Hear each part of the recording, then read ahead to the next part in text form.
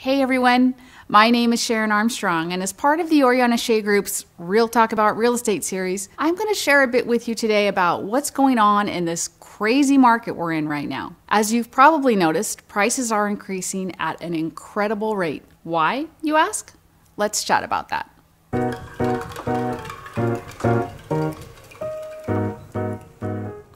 It's all about supply and demand.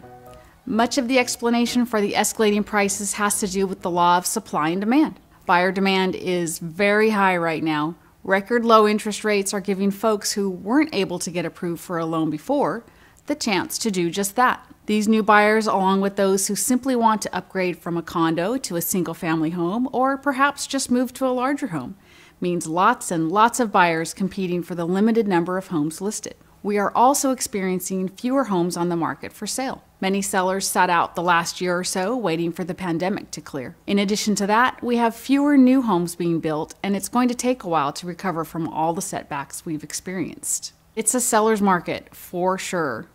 The low number of homes available on the market, coupled with the high number of buyers, means sellers have a tremendous amount of leverage. Homes which are marketed well with staging, quality photos, and online exposure are selling at record pace.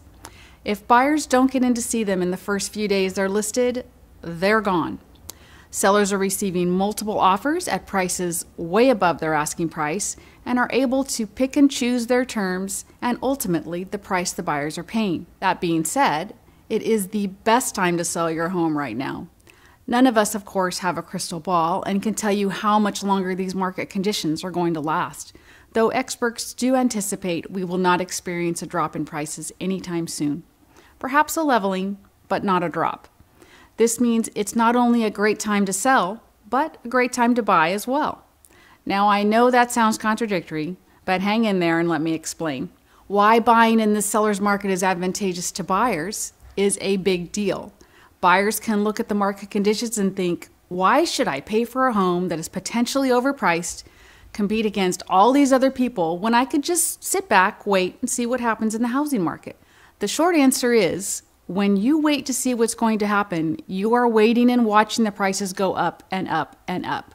I have seen it.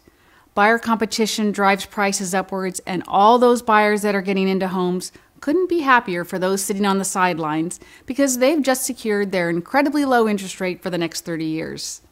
That's what's going on. When interest rates rise by even 1%, a buyer's home buying power goes down by more than 10%.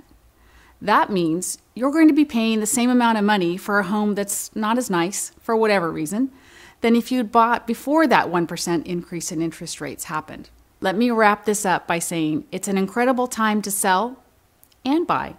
And I'm not just saying that, it truly is. I hope this has all been helpful information to you.